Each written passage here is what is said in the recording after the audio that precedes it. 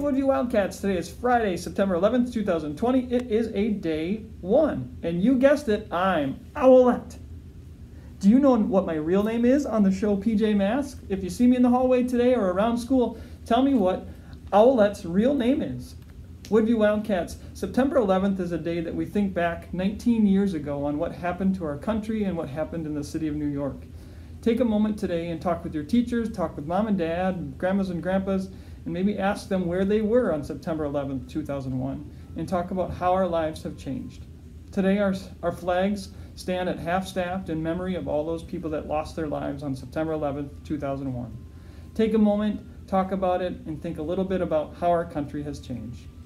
Thanks, Wildcats.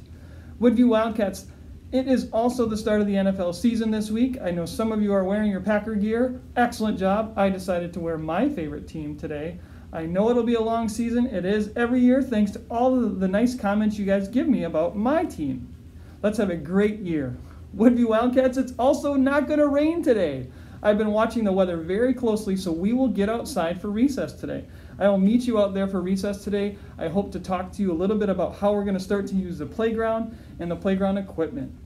It is a great day to be a Woodview Wildcat, especially since we're going to be able to be outside. It's been a long week of indoor recess, and I can't thank you enough for all of your patience and your hard work.